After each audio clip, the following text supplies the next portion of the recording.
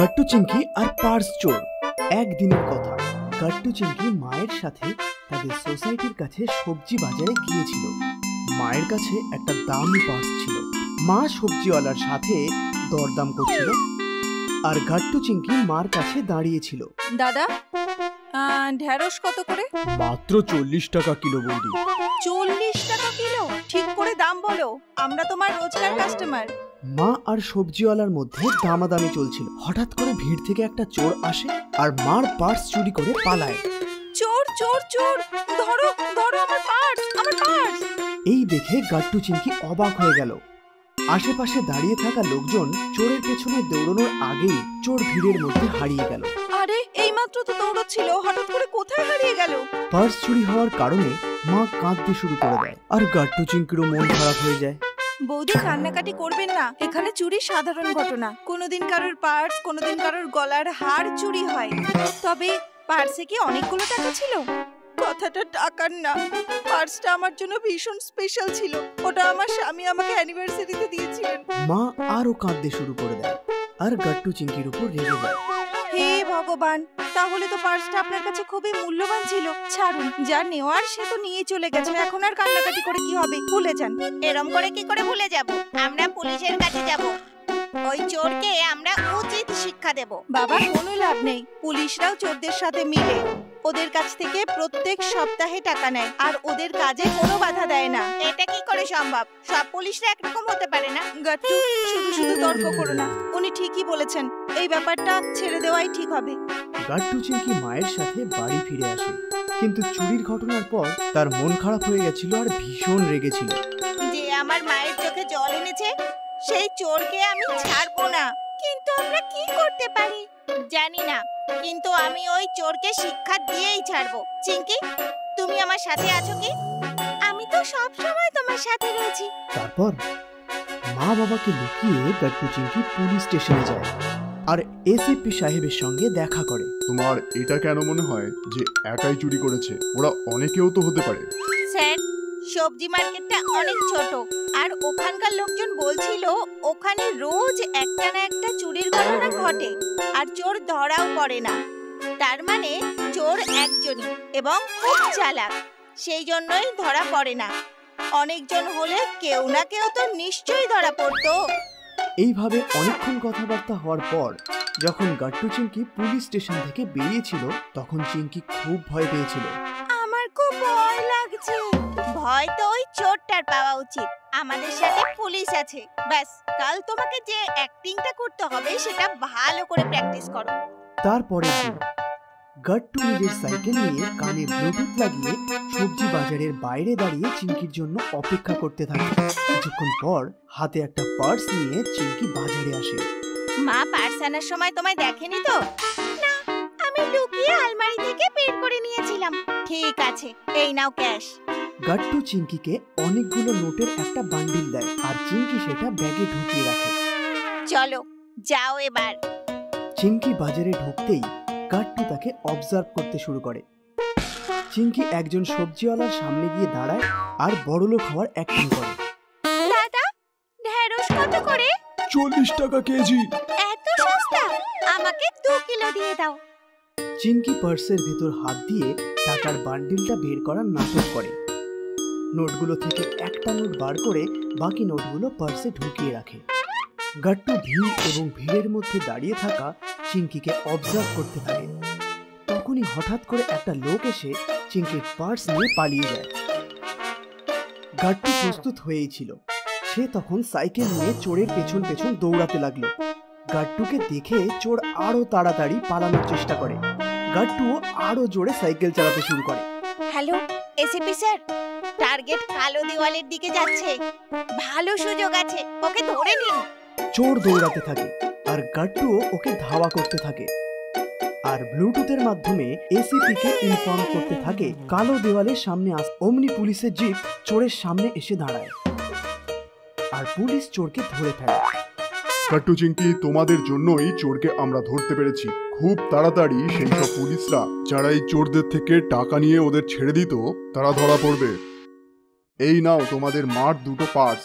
আমাদের দেওয়া নোটের বান্ডিল বার করে নিয়েছি। থ্যাংক ইউ গাট্টু চিংকি এইভাবে গাট্টু চিংকির বুদ্ধিমত্তার জন্য চোর ধরা পড়ল। মিথ্যের সত্যি। অনেক বছর আগে এক শহরে এক পরিবার থাকত। পরিবারে মা বাবা ছাড়া সাত বছরের মীনাক্ষী আর আট বছরের মনীষও থাকত। মনীষ আর মীনাক্ষী খুব মিথ্যে কথা বলতো। প্রত্যেক কথাই মিথ্যে বলতো। এই নে! তুই নে! বাচ্চারা তোমরা কি করছ? এই আওয়াজটা কিসের আসছে? মনে হচ্ছে মা বাবা আসছে। এবার আমরা কি করব? যেটা আমরা সবসময় করি। সব কাপড় জামা এমনি ছড়ানো কেন? তোমরা দুইজন ঘরের কি অবস্থা করেছ? কিন্তু আমরা কিছু করিনি। হ্যাঁ মা, কিছুক্ষণ আগে জানলা দিয়ে কিছু বাঁদর এসেছিল, ওরাই এসব করে গেছে। এইভাবে ওরা প্রত্যেক কথায় মিথ্যে কথা বলতো। মা বাবা ওদের এই অভ্যাসে খুবই চিন্তায় ছিলেন। একদিন মা বাবা কোনো কাজে বাইরে গেছিলেন, আর বাচ্চারা বাড়িতে একলা ছিল। ওরা নিজেদের ঘরে বসে নিজেদের হোমওয়ার্ক করছিল। তখনই বাইরে লিভিং এরিয়া থেকে কিছু একটা পড়ার শব্দ পাওয়া গেল। দাদা এই লিভিং এরিয়া দিয়ে কেমন শব্দগুলো আসছে? মনে হচ্ছে বাড়িতে চোর ঢুকেছে। চোর? এবার আমরা কি করব? বাড়িতে তো মা বাবাও নেই। আসতে বল। যদি চোর শুনে ফেলে তাহলে আমাদের দিকেও চুরি করে নিয়ে সাথে চলে যাবে। দাদা আমাকে অনেক ভয় লাগছে। আমাকে চোরের সঙ্গে যাওয়ার নেই। তুই চিন্তা করিস না আমি এক্ষুনি বাবাকে ফোন করছি। এই বলে মনীষ বাবাকে ফোন করল কিন্তু বাবার ফোন বন্ধ ছিল। মনে হচ্ছে বাবার ফোন বন্ধ। এবার আমরা কি করব? মনে হচ্ছে এবার আমাদেরকেই কিছু করতে হবে। কিন্তু কি? আমি কিছু একটা ভাবছি। এই বলে মনীষ ভাবতে শুরু করল। তারপর কিছুক্ষণ ভাবার পর ও বলল এবার আমাদেরকে কিছু একটা করে এই চোরগুলোকে বাড়ি থেকে তাড়াতে হবে। কিন্তু কেমনি? যদি আমরা এদের বিশ্বাস করিয়ে দিই যে আমাদের সাথে বাড়িতে বড়রাও আছেন তাহলে এরা অবশ্যই পালিয়ে যাবে। হ্যাঁ এটা ঠিক হবে। চল আমার সাথে আর যেমনটা আমি বলব তেমনটাই করবি তুই। ঠিক আছে দাদা। ওরা দুজনেই নিজেদের ঘর থেকে বাইরে বেরিয়ে এলো। ওরা দেখল যে বাড়ির সমস্ত জিনিসপত্র লণ্ডভণ্ড হয়েছিল। আর মুখে কালো রঙের মাস্ক পরে দুটো চোর দাদুর ঘরের দিকে ঢুকছিল। এই দেখে মনীষ তাড়াতাড়ি করে লিভিং এরিয়াতে এলো আর নিজের ঘরের দিকে মুখ করে জোর করে বলতে লাগল, মীনাক্ষী, তুই এভাবে শুনবি না। দাঁড়া, আমি এক্ষুনি বাবাকে ডাকছি। বাবার কথা শুনেই চোর ভয় পেয়ে গেল। আর ওপরের দিকে দৌড়তে লাগল। মীনাক্ষীও ঘর থেকে বাইরে বেরিয়ে এলো আর চোরেদের ওপরে যেতে দেখল আর চিৎকার করতে লাগল। তুই কি আমার নামে নালিশ করবি? দাঁড়া আমি এখনই ঠাকুর দাদাকে উপর থেকে ডাকছি। দাদুর নাম শোনা মাত্রই চোর আরও ভয় পেয়ে গেল আর রান্নাঘরের দিকে দৌড়তে লাগল। এইবার আরেকবার মনীষ চেঁচিয়ে বলল দাদু আবার কি করবে? দাঁড়া আমি এক্ষুনি ঠাকুমাকে ডাকছি। ওই তোকে ভালো করে শিক্ষা দেবে। এই কথা শুনে চোর ভয় পেয়ে সোফার নিচে লুকিয়ে পড়ল। তুই তো বলেছিলিস বাড়িতে বাচ্চাদের ছাড়া আর কেউ নেই। এখানে তো সবাই আছে। আমি বাড়ির বড়দের নিজের চোখে বাইরে যেতে দেখেছি। জানি না সবাই কখন চলে এলো।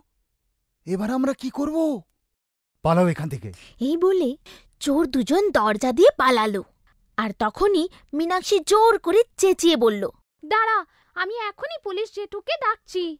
উনি বাইরেই দাঁড়ানো আছে। উনি তোমাকে জেলে বন্ধ করে দেবে। আরে এদের পুলিশের জেঠু তো বাইরেই দাঁড়িয়ে আছে। তাড়াতাড়ি জানলা দিয়ে পালাও এখান থেকে। এই বলে চোর দুজন জানালা দিয়ে লাফিয়ে পালিয়ে গেল। চোরদের এভাবে পালাতে দেখে মনীষ আর মীনাক্ষী খুব খুশি হলো। আমরা চোর দুটাকে তাড়িয়ে দিয়েছি। আর তখনই ওদের মা বাবাও ফিরে এলেন। বাড়িতে সব কিছু জিনিস এভাবে লণ্ডভণ্ড দেখে মা রেগে গিয়ে বললেন বাড়ির এই অবস্থা কে করল? বাচ্চারা মা বাবাকে সব কথা বলল মা এসব আমরা করেছি। হ্যাঁ মা বাড়িতে দুটো চোর এসে গেছিল। দামি জিনিসগুলো খোঁজার জন্য ওরাই এই সব জিনিস এদিক ওদিক ফেলেছে। আচ্ছা আমি তো কোনো চোর দেখতে পাচ্ছি না। হ্যাঁ কোথায় আছে ওই চোর? চোরেদের তো আমরা তাড়িয়ে দিয়েছি। এই শুনে মা বাবা ভাবলেন এরা প্রতিদিনের মতোই আজকেও মিথ্যে কথাটাই বলছে। ওনারা বাচ্চাদের বকা দিয়ে বললেন আমরা জানি প্রত্যেকবারের মতন তোমরা মিথ্যে কথা বলছো। এই সব তোমরা করেছ আর এখন তোমরা নিজের ভুল লোকানের জন্য সবসময়ের মতন মিথ্যে গল্প বলছো। বাচ্চারা ওনাদের বোঝানোর অনেক চেষ্টা করল। না আমরা সত্যি বলছি এইসব চোর করেছে। আমরা মিথ্যে বলছি না। কিন্তু মা বাবা বাচ্চাদের কথা শুনলেন না। তোমরা দুজনে পানিশমেন্টের থেকে বাঁচার জন্য বলছো কিন্তু এবার তোমরা পানিশমেন্ট নিশ্চয়ই পাবে। আর তোমাদের পানিশমেন্ট এইটাই যে এই সমস্ত কিছু তোমরাই ঠিক করবে। এই বলে মা বাবা নিজেদের ঘরে চলে গেলেন। তখন মনীষ আর মীনাক্ষী বুঝতে পারল যে মিথ্যে কথা বলা কতটা ভুল। ওদের চোখে জল চলে এলো। ওরা কাঁদতে কাঁদতে বলল আমাদের মিথ্যে কথা বলার জন্য মা বাবা আমাদের ওপর বিশ্বাসই করছে না। বোধহয় মিথ্যে বললে এমনিই হয়। আর ওরা দুজন ঠিক করল যে আজকের পর আর কখনো মিথ্যে বলব না। এইভাবে মনীষ আর মীনাক্ষী নিজেদের শিক্ষা পেয়ে গেল। আর তারপর ওরা আর কখনো মিথ্যে কথা বলল না। তাহলে বাচ্চারা এই গল্প থেকে আমরা কি শিক্ষা পেলাম? যে আমাদের কখনোই মিথ্যে কথা বলা উচিত নয়। কারণ বারবার মিথ্যে কথা বলার পর যদি আমরা সত্যি কথাটাও বলি, তখন সকলে আমাদের কথাটা মিথ্যে কথা বলেই ভাবেন।